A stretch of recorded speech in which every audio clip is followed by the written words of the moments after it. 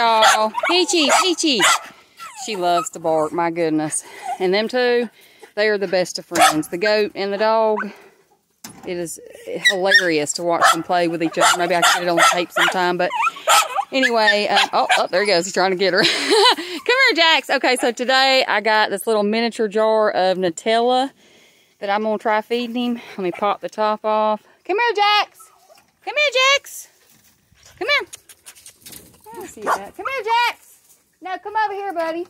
Come here, Jax. He's waiting on the other side. I'm trying. I'm doing this side because of the sun. Come here. Look, Jax. Come here. I'm right here. I'm right here. There we go. Oh, what you think about that? You like Nutella? Oh, I think I like Nutella. Let me see that little tongue. Oh, I think he likes it. Is it good? Oh, yep. You can't have the whole jar. I'm having to hold it tight because he's trying to get the whole jar.